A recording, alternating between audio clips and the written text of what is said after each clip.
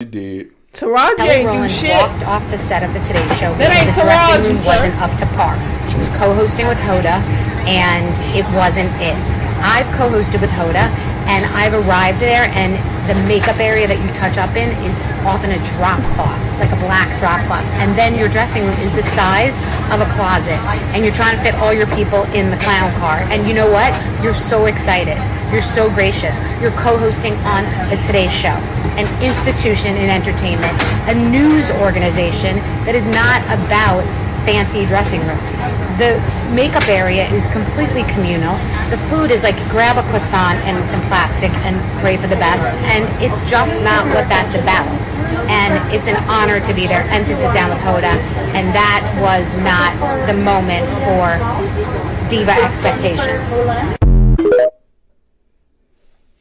Oh yeah, I- I'm glad. I'm st- I'm sh- I'm muting the fuck up now. I just wanted to play this real quick to get that opinion out to hear yours.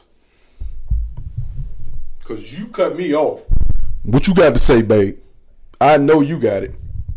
I seen on your face. just because she wants what she wanted or whatever the reason was, did she get that from Kelly? That that's what was wanted?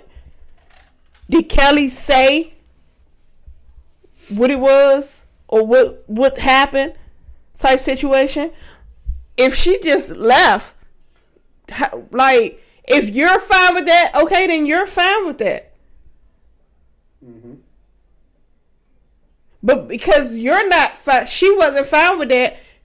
Okay, that's her choice. And what her choice was, instead of if she did do that, instead of going back and forth saying I want this, I want that, I want this, she just left. Okay, it is what it is. And then they called your secondy ass up because you wasn't the first option. the fuck. So of course you're going to be humble and okay with, with the, whatever the fuck it is that's in there because you wasn't invited to the party to begin with. You probably wasn't mm-hmm. even a second fucking thought. They probably had somebody else, and they said, "Well, nope." They said they busy. Okay, well let's let's go with this drunk bitch. Somebody called her a suckety ass. Because what? Fuck cares about Bethenny nowadays? Nobody.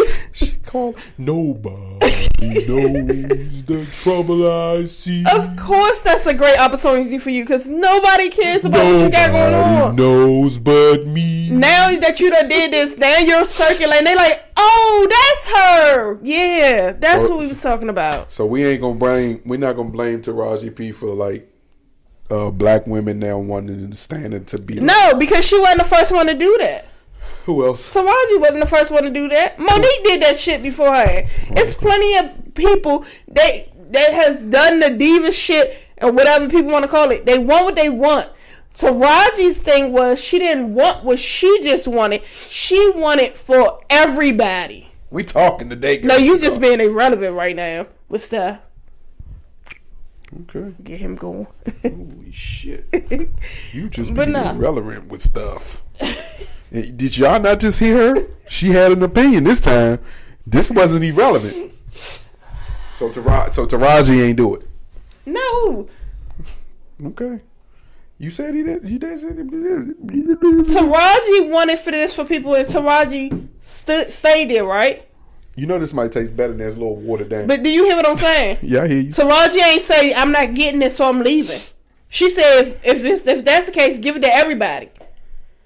The way she put it is Kelly said, "Nah, this ain't working. I'm out." So that's two different things. I know. Kelly said, "I don't need this." Taraji said, "I need this check, so we gonna have to figure some shit out."